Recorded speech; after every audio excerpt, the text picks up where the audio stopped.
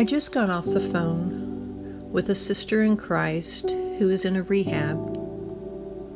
Recently, she fell and broke both of her wrists and has a compression fracture in her spine. She shared with me that this morning a young lady came into her room to help her with some things, a volunteer at the rehab, and this young girl was sharing with this sister that she was suicidal. As it was, this sister in Christ had been suicidal at one time and had tried to take her life many years ago. God uses all things together for the good. And this sister was able to share Christ and the hope and life that can be found in Him with a young girl who is experiencing the hopelessness that she had experienced herself years ago. Praise God, the Lord stopped this sister at that time and actually opened her eyes, showed her the spiritual realm around her, the demonic that were mocking her immediately after she had taken an overdose of some pills. And I pray that the same God that did that will do the same thing for this young girl, that He will show her the truth, that He will show her where her battle is and who her battle is with. Perhaps you have felt this as well the hopelessness, the dismay that comes from living in a world that seems to sometimes do nothing but tear us down and tear us up.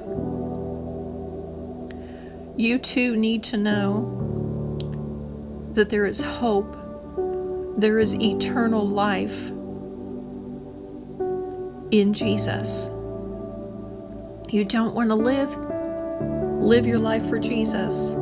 Place your faith in what He did on the cross on our behalf, dying for our sin so that we could have eternal life, raising from the dead so that we could be justified.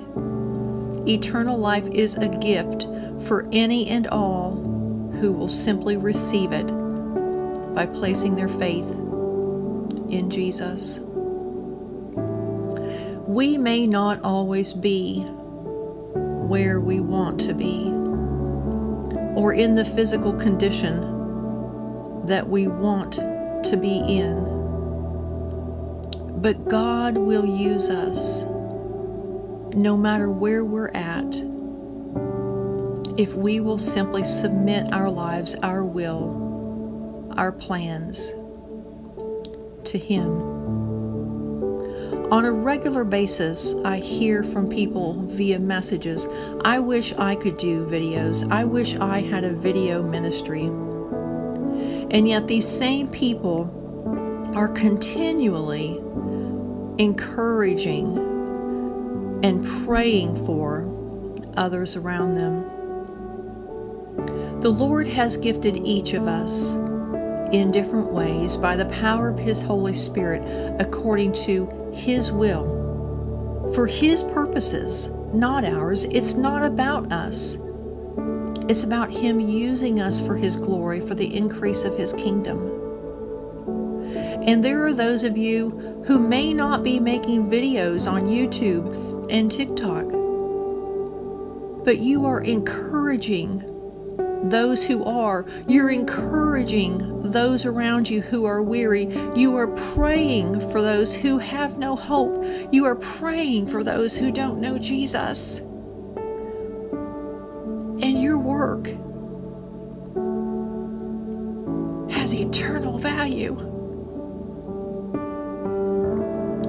So, whether you are sitting in your living room in a recliner or you're sitting in a rehab in a wheelchair with casts on both of your hands and in pain. God will use you for the increase of His kingdom. And there's nothing better than that. Do you know Him? Oh, my friend, I pray that you do. If you don't, Again, Jesus died on a cross for your sin. He shed his blood because there is no forgiveness of sin without the shedding of blood. He shed his blood for the remission, for the atonement, for the forgiveness and the cleansing of your sin. He died and rose again three days later. And if you will place your faith in what He did on your behalf, you will be saved, you will be forgiven and cleansed and given the free gift of eternal life. It's a gift. I pray it's a gift that you have received. Maranatha.